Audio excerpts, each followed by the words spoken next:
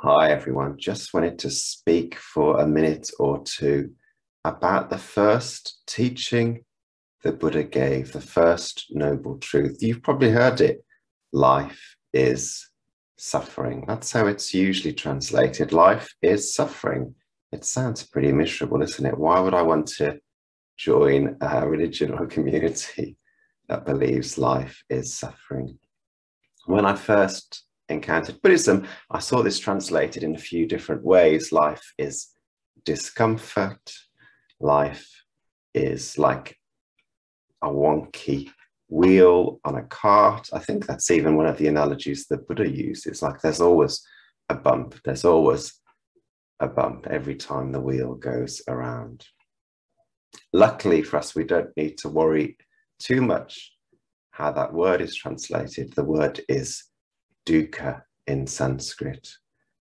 And dukkha in Pali, it sounds very similar in both of the languages the Buddha's teachings were recorded in. We don't have to worry too much about how it was translated because the Buddha defined his terms. Dukkha is being born, getting sick, getting old, dying, being separated from people that you love, being associated with people that you don't love, not getting what you want, having things that you do want taken away from you. And of course, these are things that happen to all of us. We all find ourselves in those situations at one point or another, and they all create an emotional reaction in most of us, at least. The Buddha said this truth was a noble truth.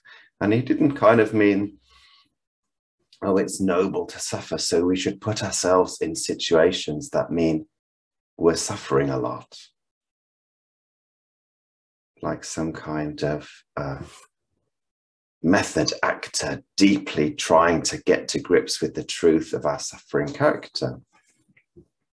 Just that these things are unavoidable and it's noble to to sit with them and it's ignoble to to avoid them. Of course in life we try and avoid these things as much as possible but when they happen what's best spiritually psychologically practically is to find ways of being with them that allow us to be steady in the face of what's happening and that's what the rest of the Four Noble Truths and the rest of the Buddha's teachings is all about.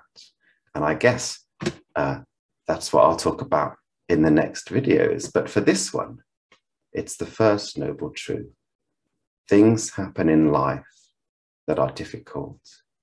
And what's right when they happen is to find ways of being with them that allow us to be steady and present and compassionate at the same time.